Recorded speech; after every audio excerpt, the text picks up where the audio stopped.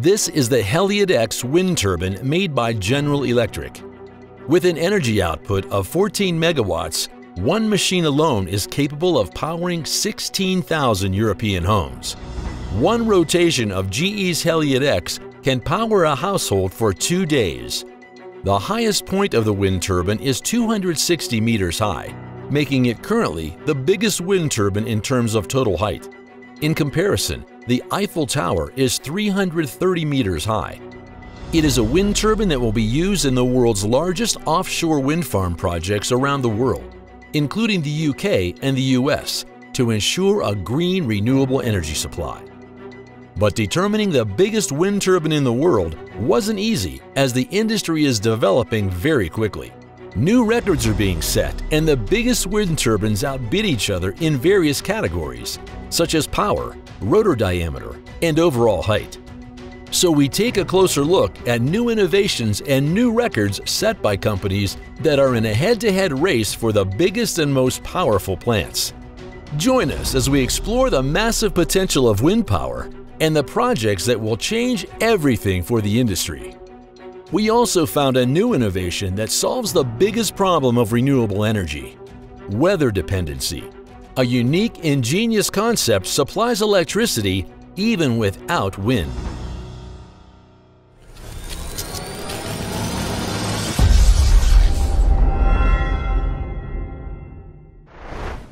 From windmills of antiquity and the Middle Ages to wind pumps for making the swampy Netherlands habitable, wind power technology has done a great job of advancing our civilization ever since. The American windmill, invented by Daniel Halladay in 1854, was used mostly for lifting water from wells, but also for tasks such as sawing wood, chopping hay, and shelling and grinding grain. Even though the technology itself nowadays has advanced tremendously, there is still a long way to go and great potential that still needs to be developed. If we take a closer look at the Global Wind Atlas, we'll notice that the greatest potential of wind power is at sea marked in red on this map. That's also the reason why the biggest wind farms of the world are currently under construction offshore. The Dogger Bank Wind Farm in the North Sea will be the largest in the world 277 of the Haliade X wind turbines will be installed here. When construction is complete, this wind farm is expected to supply 6 million homes in the UK with renewable energy. And the US has also purchased 62 of those wind turbines for its first offshore wind farm. The usable energy increases proportionately by increasing the wind-swept area of the rotor blades.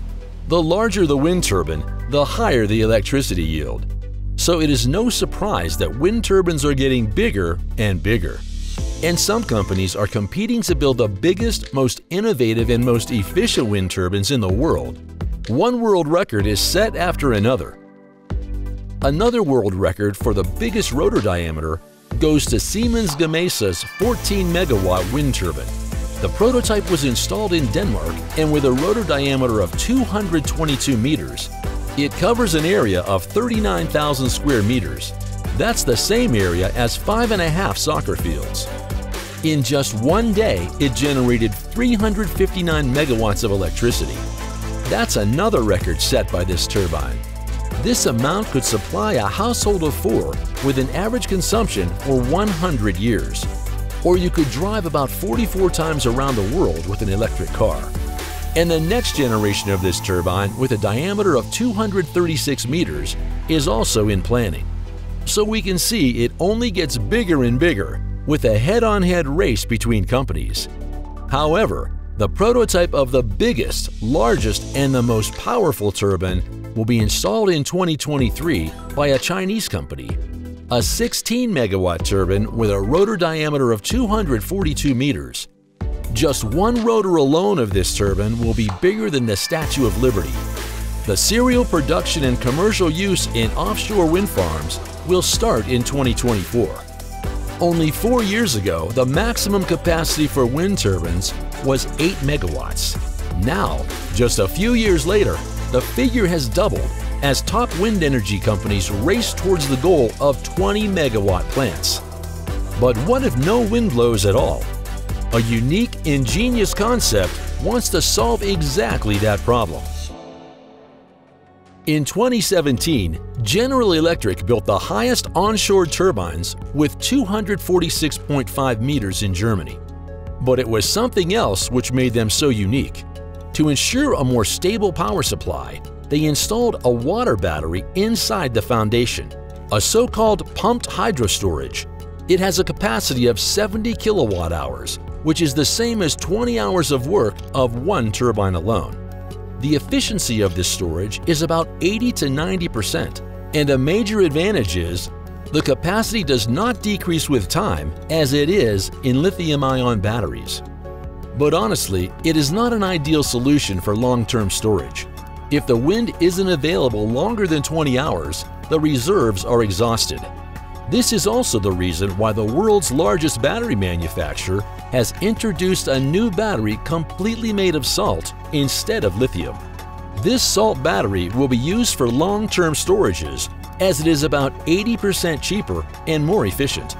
The mass production of this new battery starts in 2023, and even Tesla has long-term contracts for its electric vehicles.